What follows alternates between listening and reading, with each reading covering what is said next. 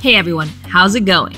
In today's video, more than ever, we really want to know what you guys think about the topic, so don't be shy. So basically, Geoff Keighley, the host and producer of the Game Awards, recently insisted that any game, no matter when it was released, is eligible to win the Game of the Year award. Hmm, interesting concept, right? But before we dive into things, don't forget to subscribe and hit that bell so that you never miss a beat, and feel free to share this video if you liked it. So, as we mentioned in the intro, Geoff Keighley, producer and host of the Game Awards, aka one of the most prestigious events in gaming which recognizes the top titles of the year through various categories and awards, recently said that he doesn't necessarily think that a game needs to have been released that year to win Game of the Year. After hearing this, our minds wandered over to Among Us, which, for example, was released in 2018. And yeah, sure, it would have been cute if it had won back then. But now, it would just be strange, don't you think? Sure, it's a super entertaining game that's fun to play with friends. And sure, it's more popular now than it was back in 2018. But come on, folks, it'd be competing against games like Cyberpunk 2077.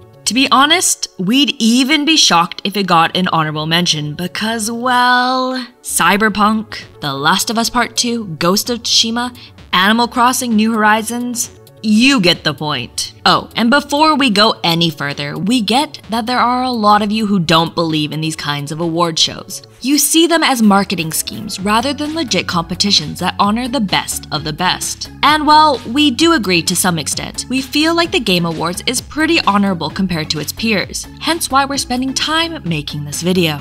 And now back to the topic at hand. Geoff's words sparked a lot of debate amongst gamers, and that's why we want to know what you think.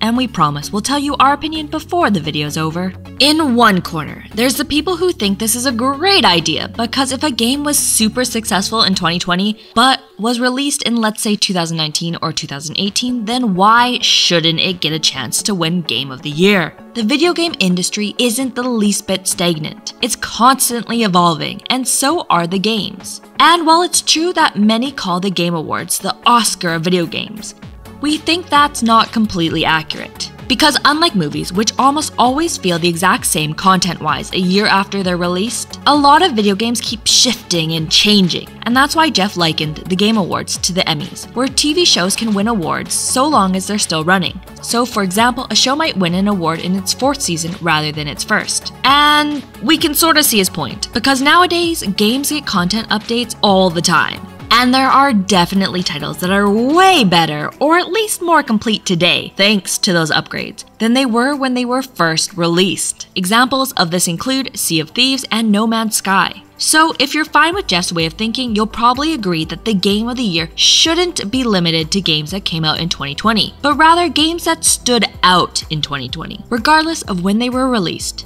which basically means that GTA 5 or The Witcher 3 could take home this year's prize, and next year's, and so on. In the other corner are those that think this is absolute nonsense because why would you award Game of the Year to a game that didn't even come out this year? What would even be the point of that? Because then you might as well give the award to Super Mario 64. People against the idea argue that there's already a category for the kind of games that Geoff is describing, and it's called Best Ongoing Game, which basically translates to an award for the best game that's still being updated. Case in point, Fortnite won this award last year and in 2018. So, yeah. But at the same time, a lot of people also associate this category with more free to play games that are constantly being updated and think that they should actually make another category for higher quality titles and call it Most Improved Game or something like that. And now for our opinion. Dun dun dun! Okay, so we just don't see the point in giving the Game of the Year award to a title that was released a different year. Sorry, Geoff. Honestly, though, just imagine that if a movie like Inception, for example, which was released in 2010, won an Oscar this year. How confusing would that be? And also, it would feel like a major insult to all the other movies that came out in 2020. So that's why at this year's awards, we want the best of the best from 2020, not 2019. And honestly, it boils down to the award's name Game of the Year. Not Game of the last five years or Game of whatever time frame we feel like. Of course, this is just our opinion, which is why we want to hear from you in the comments. We will say though that we think it's a decent idea to create a new category for most improved game, because this way it'll inspire developers to improve games that were a bit meh when they first came out. We would really appreciate the motivation it would give to make games better over time, and we think that it would be totally worthy of recognition.